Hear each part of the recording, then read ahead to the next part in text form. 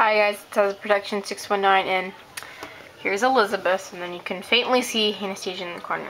And there's Lanie. But anyways, um, I'm browsing on eBay like I said I did and that's how I got, I'm almost hopefully gonna get Mia. But I'm just browsing because I'm really bored.